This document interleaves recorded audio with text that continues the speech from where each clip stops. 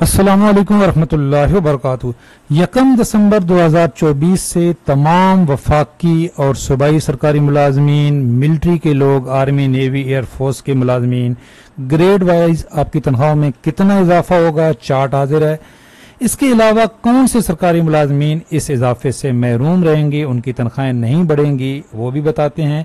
और ये जो एनुअल इंक्रीमेंट है, इसके अंदर अडाक रिलीफ 2024 ये जो ग्रेड एक से सोलह, पच्चीस परसेंट और grade seventeen and above twenty percent है।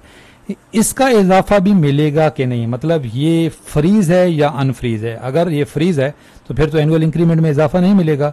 अगर अनफ्रीज है तो फिर मिलेगा। इससे मतलब भी आपको बताते हैं, आपको चार्ट के मुताबिक बताते हैं और कौन से सरकारी मुलाजमीन की तनख्वाहों में इजाफा नहीं होगा। छोटी सी वीडियो है, लेकिन अहम तरीन वीडियो है।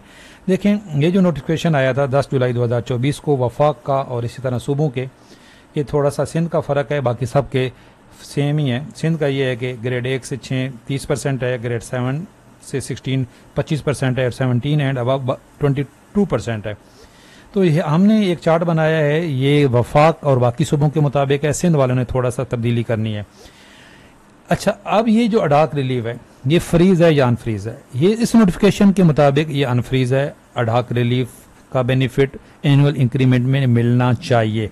लेकिन एक क्लेरिफिकेशन लास्ट ईयर भी 2023 का ये जो अडाक रिलीफ था 30 से 35 परसेंट ये भी अनफ्रीज था। इस नोटिफिकेशन में भी कहीं नहीं लिखा हुआ था कि ये फ्रीज है। और इसके मुताबिक चार्ट भी बनाए थे, मैंने भी वीडियो अपलोड की थी, लेकिन अनफॉर्चुनेटली नवंबर के अंदर इसकी क्लेरिफिकेशन आ गई थी। ये देखें, नवंबर 4 नवंबर 2023 नवंबर में क्लेरिफिकेशन आ गई थी कि ये फ्रीज है जी, ये। तो वो फिर सिर्फ़ एनुअल इंक्रीमेंट ही मिला था लास्ट ईयर उसमें इजाफा नहीं मिला था। तो अभी तक, आज की डेट तक ये अनफ्रीज है। अगर ये अनफ्रीज है तो आपको इसका बेनिफिट भी मिलना चाहिए, मिलेगा। तो हमने ये चार्ट बनाया है, आपने ये ग्रेड वाइज और ये वफाक का और के पी के पंजाब और बलूचिस्तान के लिए है। सिंध वालों का थोड़ा सा डिफरेंस है, हम बता देते हैं। ग्रेड एक का ये सालाना इंक्रीमेंट है, चार सौ तीस रुपये एक सौ सात रुपये उसको डाक रिलीफ ट्वेंटी फाइव परसेंट मिलेगा और टोटल उसको पाँच सौ अठतीस रुपये मिलेंगे। ये पॉइंटों का अब डिफरेंस हो सकता है, क्योंकि पॉइंटों को हमने इग्नोर किया है। इसी तरह ग्रेड वाइज ये आप अपना तनख्वाहों में इजाफा देख सकते हैं। ग्रेड ट्वेंटी टू का दस हज़ार चार सौ बावन रुपये इजाफा होगा, अगर ये उनको अडाक रिलीफ भी मिलता है। और अगर नहीं तो सिर्फ़ एनुअल इंक्रीमेंट मिलेगा। अच्छा अब ये कंफर्म नहीं है जी। ये अगर इसकी कोई क्लैरिफिकेशन आ गई तो फिर ये आपको अडाक ये वाला नहीं मिलेगा एनुअल इंक्रीमेंट ही मिलेंगे। मैंने आपको बता दिया कि लास्ट ईयर भी इसी तरीके से पहले आया था, फिर उसकी क्लैरिफिकेशन आ गई थी। अच्छा आर्म फोर्सेज वाले जो हैं, आपने ये आपका इंक्रीमेंट है, सालाना। इसका आपने 25 परसेंट या 20 परसेंट जो भी अगर ग्रेड 17 एंड अबव है तो 20 परसेंट है। और अगर उससे कम है तो वो 25 परसेंट आपने खुद निकाल लेना है। ये हमारे ज़िया साहब हैं, उनका चार्ट है, ये आर्मी नेवी वालों के लिए या एयरफोर्स वालों के लिए। और ये जो हमने निकाला है, ये देखें जो आपका स्केल चार्ट है 2022 का, इसमें ये बीच वाली लाइन, तीसरी लाइन जो होती है ना इधर से, ये इंक्रीमेंट होता है। तो ये इसका नीचे वाला आपने पढ़ने ऊपर वाला 2017 का है, ये। तो आप मैच भी कर सकते हैं कि हमारा ये चार्ट ठीक है कि नहीं। अच्छा अब एक सवाल कि क्या ये सबको मिलेगा या किन को नहीं मिलेगा? भाई एनुअल इंक्रीमेंट के रूल्स हैं कि कौन से सरकारी मुलाजमीन सालाना इंक्रीमेंट के अकदार नहीं होते। ऐसे सरकारी मुलाजमीन जिनकी यकम दिसंबर 2024 को प्रमोशन, अपग्रेडेशन या तकर्री को छः माह से कम अरसा हुआ हो, वो सालाना इंक्रीमेंट के अकदार नहीं है। यानी कि अगर आपकी, आप अपॉइंट ही आपकी यकम जून 2024 के बाद हुई है तो आपको ये इंक्रीमेंट नहीं मिलेगा।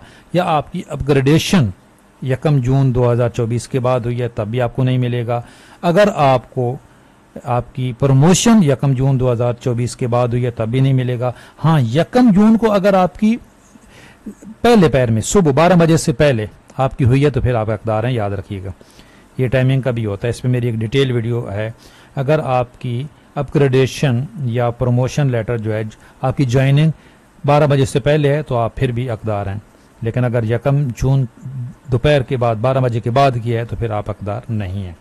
ऐसे सरकारी मुलाजमीन जिनके खिलाफ कोई महकमाना कार्रवाई की गई और उनका इंक्रीमेंट स्टॉप किया गया हो, वो भी हकदार नहीं हैं।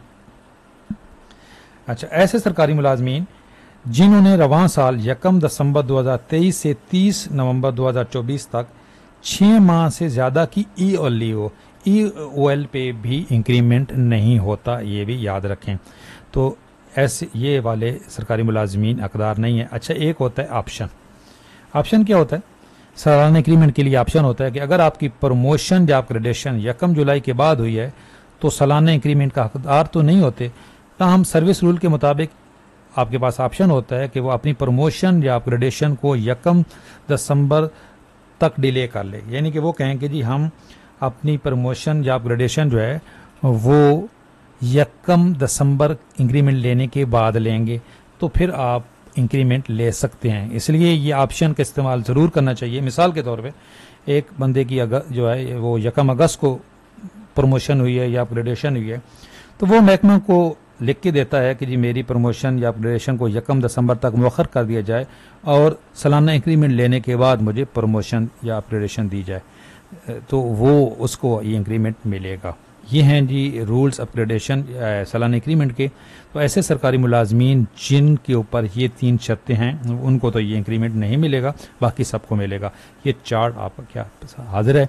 अगर आपके लिए ये वीडियो थोड़ी सी भी हेल्पफुल हुई है तो लाइक करें शेयर करें। आपका कोई क्वेश्चन है तो कमेंट्स में बताएँ और अपनी राय का इजहार कमेंट्स में ज़रूर किया करें, क्योंकि आपकी राय हमारे लिए बहुत मुकदम होती है। हम उसके मुताबिक कोशिश करते हैं आपकी जो तो हैं, उस पर पूरा उतरने की। इन ताला अपडेट भी रहेंगे। चैनल पर नए चैनल ज़रूर सब्सक्राइब कर लें। अल्लाह हाफिज़।